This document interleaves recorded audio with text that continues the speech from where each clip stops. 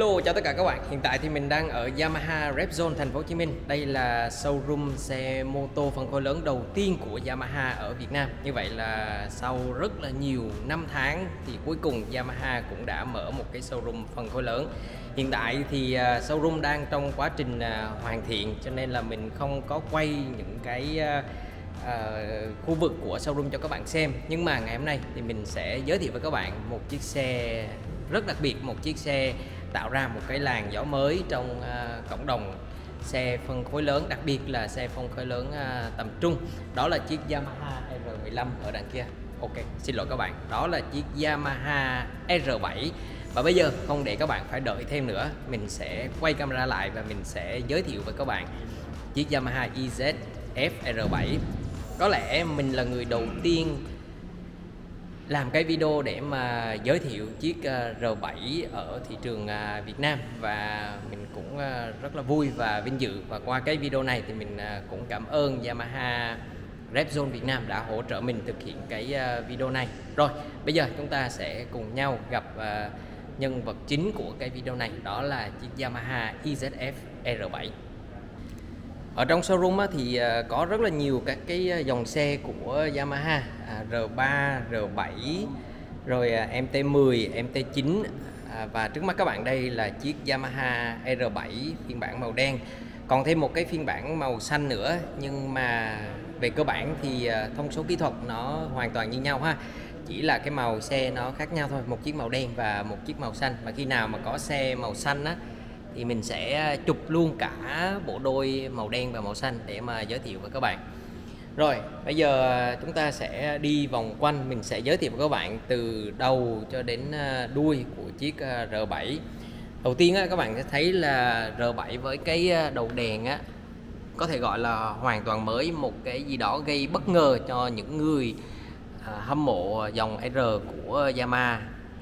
Ở đây là một cái bi cầu ha. Ở đây là có hai cái đèn à, đề mi rất là đẹp. Xi nhan thì được gắn ở bên cạnh dàn áo này. Đó, xi nhan cũng là đèn led luôn. Rồi ở phía trước á, thì à, chúng ta sẽ có một cái à, cặp phuộc của KIB đường kính ti là 41 mm thắng vẫn là thắng đĩa đôi ha à, ABS đầy đủ. Rồi à, con heo là của hãng à, uh, Avix thì Avix và Yamaha thì hợp tác với nhau rất là lâu năm rồi. Và à, Avix thì à, các bạn thấy là cái à, thiết kế của cái con heo này qua rất là nhiều năm không hề à, thay đổi. Rồi cái đường nét ở trên chiếc R7 này các bạn thấy là nó rất là đơn giản.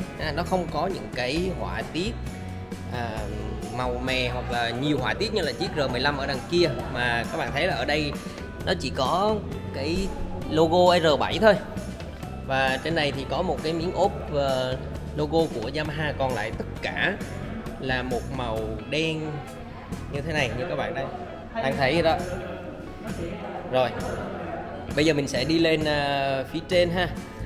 Các bạn thấy là cái uh, mình sẽ quay cái khu vực phía trên trước rồi mình sẽ uh, giới thiệu với các bạn ở phía sau.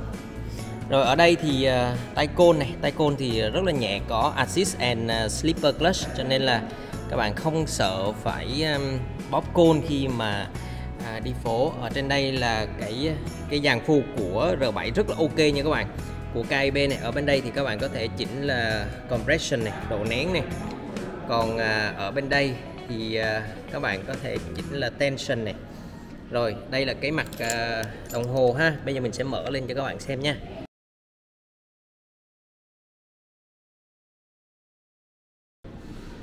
Rồi ở bên đây thì ờ, các cái cùng công tắc nó rất là đơn giản thôi. Tại vì chiếc R7 là một chiếc xe vô cùng đơn giản. Đơn giản như thế nào thì xíu nữa mình nói ha. Rồi ở trên đây thì các bạn thấy là cái chặng ba được chế tác khá là đẹp. À, Khá là đẹp thôi tại vì à, nhìn á, thì à, nó hơi hơi tức một xíu. Hơi tức là tại vì sao? Nếu mà cái chỗ này mà đục lỗ như là R1 á, thì nó sẽ đẹp hơn rất là nhiều à, đồng mặt đồng hồ thì à, đủ để chúng ta quan sát các cái à, thông số.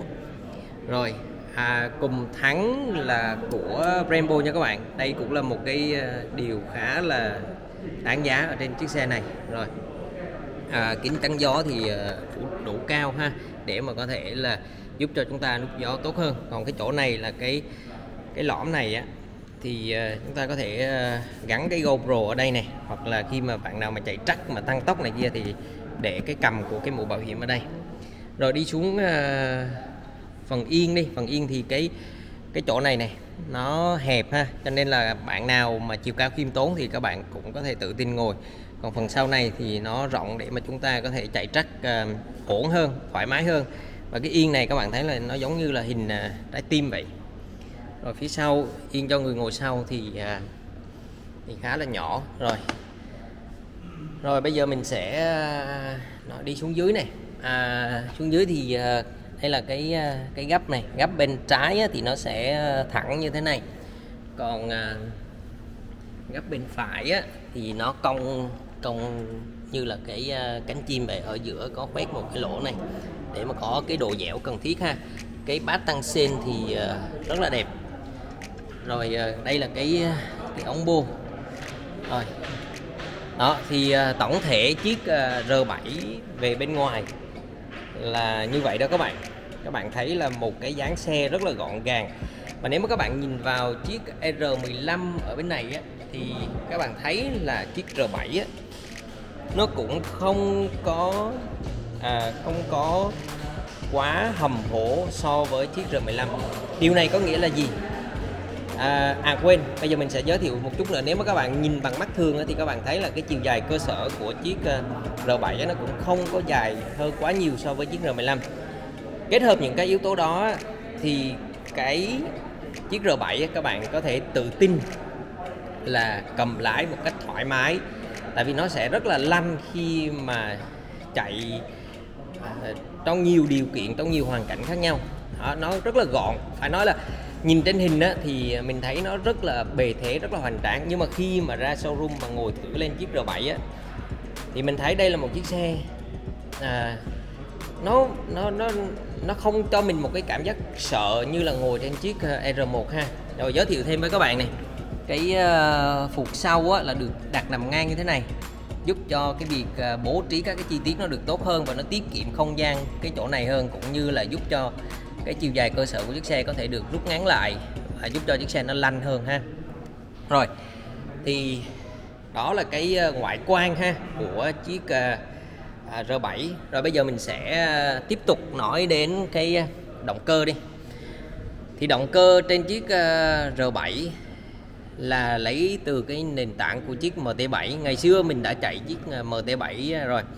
Thì đó là một chiếc một cái cục máy giàu sức sống, một cái cục máy à, rất là thích, tại vì nó rất là giàu mô men nên là cái à, R7 này à, cũng vậy. R7 là sử dụng cái động cơ hai xi lanh thẳng hàng, dung tích là 690 mấy phân khối đó.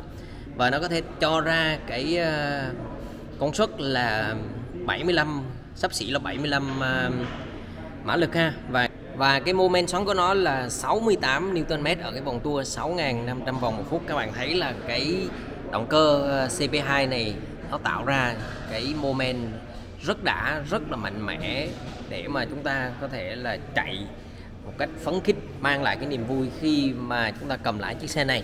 Rồi về khung sườn á, thì đây là cái khung sườn ờ, ống thép hình kim cương và mình muốn giới thiệu với các bạn là cái chỗ này này cái chỗ này có một cái ờ, cái miếng nhôm như thế này để mà gia cố cái độ cứng của cái đỉnh gấp ở đây giúp cho chiếc xe nó vững vàng hơn nó ổn định hơn khi mà tăng tốc hay là khi mà nghiêng cua nó nó sẽ không bị uh, sạc bánh ha. Rồi uh, về công nghệ điện tử thì trên chiếc R7 này chỉ có là ABS thôi. Cao khoảng ờ, một mét sáu ba sáu tư gì đó sáu năm cũng được ha. Mang dài vào thì một mét sáu năm đi. Và bây giờ là chiếc R7 cái thằng đây mình sẽ ngồi lên cho các bạn xem là cái tư thế ngồi sẽ như thế nào ha. Chống chân ờ, rất là thoải mái luôn. Cho nên là cái chiếc xe này á, gần như là dành cho tất cả mọi người. Những ai mà có chiều cao khiêm tốn á, thì cũng không có cảm thấy sợ khi mà ngồi trên chiếc R7 mình vẫn chống chân rất là thoải mái. Cái điều quan trọng quá là cái cái chỗ háng của mình này các bạn.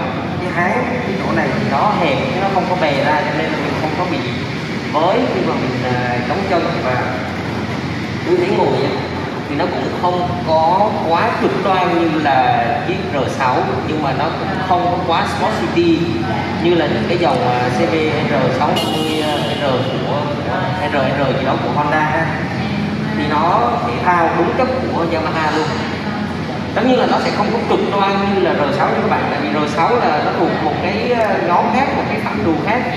Còn chiếc R7 này các bạn thấy là mình thấy nó rất là thân thiện thực sự là một chiếc xe nó rất là thân thiện và nhiều khi nó ngồi trên chiếc R15 thì mình cảm thấy nó còn bề thế hơn là ngồi trên chiếc R7 này nữa. Nó cực kỳ gọn nó cực kỳ uh, uh, gọi là slim ở cái chỗ này này. Và tất cả mọi thứ xung quanh về chiếc R7 này nó cực kỳ đơn giản và đây chính là chiếc xe dành cho tất cả chúng ta dành cho người mới tập chơi dành cho người chơi lâu năm. Muốn tìm một cái cảm giác mới mẻ ở một cái chiếc xe gọn gàng động cơ hai máy dầu mô men xoắn đó chính là ý nghĩa của chiếc Yamaha E-F R7 đó khi các bạn nhìn vào chiếc R7 á, thì à, các bạn thấy nó tiếp nối cái uh, truyền thống thể thao của cái dòng à, uh, R và cái tư thế ngồi á, thì ờ, các bạn thấy là nó không quá cực đoan như là chiếc ờ, R6 nhưng mà nó cũng không quá Sport City. Cho nên là các bạn vẫn giữ được cái nét thể thao khi mà cầm lái ờ, chiếc R7 này. Đó, các bạn nhìn phía trước rất là đã ha. Một cái đèn bi cầu và hai cái đèn demi rất là đẹp. Đó theo mình uh, quan sát á, thì mình thấy là cái uh, chất lượng hoàn thiện của cái chiếc R7 này rất ổn rất ổn tức là nó không có những cái uh, những cái thừa không đáng có chẳng hạn như là những cái roan ở trên uh, động cơ á, nó được làm rất là khít và nó không có thừa lên như là những cái uh, chiếc xe mà mình đã từng gặp chiếc xe này là nhập uh, nguyên chiếc từ Nhật Bản nha các bạn nhập nguyên chiếc từ Nhật Bản thì à, mình nói là cái à, chiếc R7 này là chiếc xe dành cho à, tất cả mọi người.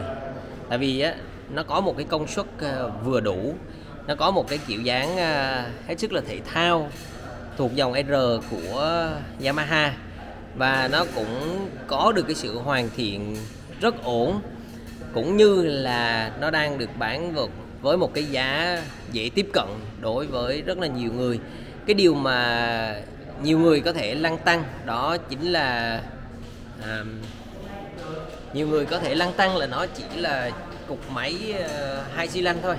Nhưng mà cái điều đó nó không quá quan trọng. Cái chiếc R7 này uh, được xây dựng dựa trên nền tảng của chiếc MT7 và cái động cơ là cái động cơ rất là nhiều moment xoắn à, vui vẻ mang lại cái nụ cười khi mà chúng ta cầm lái à, chiếc xe này. Đó.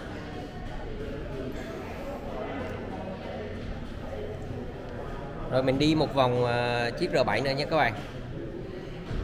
Các bạn thấy là các chi tiết à, được hoàn thiện rất ổn luôn. Cái yên này thì à, được bố trí rất là hợp lý. Đó. mình ngồi lên mình cũng không có cảm giác sợ. Đây, phía sau là khung ống thép này. Ở phía trước này, được các cái mối hàng. Được làm rất là chỉnh chu, đẹp đây là cái thanh uh, gia cố nha các bạn. Đó. cái gấp sau cũng như vậy. Cứng cáp mạnh mẽ. Rồi cái phuộc ha. Đó đĩa đôi. Họa tiết thì rất là đơn giản. Các bạn thấy là một màu đen tuyền như vậy thôi.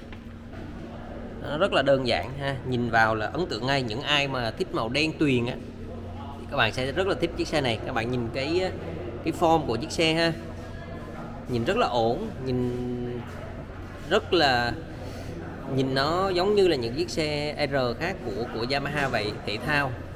Đó đó là cái ngôn ngữ thiết kế của Yamaha. Họ streamline họ mang những cái đường nét từ R1 xuống những cái chiếc xe nhỏ hơn. Đó. rồi à, đó là phần à, giới thiệu của mình về chiếc Yamaha EZF R7 một lần nữa cảm ơn um, một lần nữa cảm ơn uh, Repzone Yamaha đã hỗ trợ mình thực hiện cái uh, video này. Và hẹn gặp lại các bạn trong những uh, video lần sau. À, thân ái chào tạm biệt. Bye.